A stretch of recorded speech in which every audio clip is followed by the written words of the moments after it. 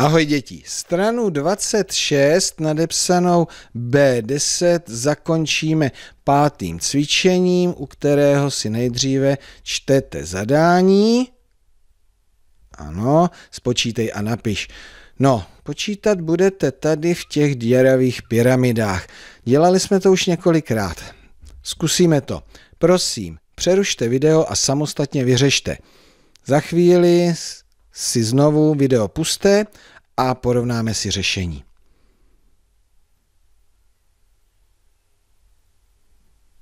Bezva. Máte vyplněné, tak se na to jdeme společně podívat. Tak v té první pyramidě chybí pouze dvě okénka, takže já si myslím, že jednodušší bylo začít tímhle protože tady, když sečtu ty dvě spodní cihličky, tak dostávám tu vrchní. 1 plus 0 rovná se 1. Tak, smažu, aby se mi to nepletlo a přejdeme sem. 11 rozložíme na něco a jednu. No samozřejmě, že to něco je 10 a 1 rovná se 11.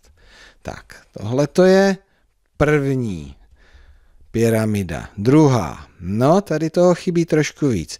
Určitě nemůžu začít tady, protože tady v té trojici mi chybí dvě čísla. Já mohu začít buď tady, anebo tady. A tohle mně přijde, že je nejlehčí, protože 10 rozložím na něco a nulu, no a to něco musí být 10. 10 a 0. Tak to máme tady.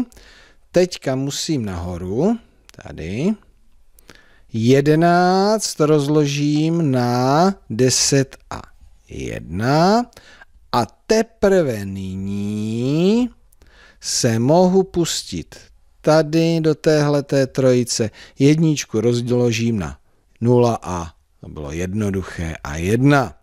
Takže vyřešená druhá pyramida. Třetí. Tak tady se do toho pustit nemůžu. Můžu se pustit do téhleté trojice nebo do téhle. Ta spodní mě přijde lehčí, tak začnu tady odtud. 13 rozložím na jednu a uhum, 12, protože 1 plus 12 rovná se 13. Tak to máme tuhle trojici a teď vyřešíme tady tu trojici. 15 rozložím na něco a 13. Tak, tohle už možná větší počítání. Hm?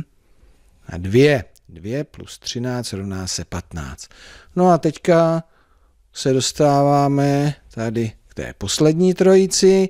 No a to je jednoduché. Dvě rozložíme na jedna a jedna. Tak, smažu. Doufám, že jsem počítal dobře. Jo, svítí to zeleně. No a co u vás? Také by se to rozsvítilo zeleně?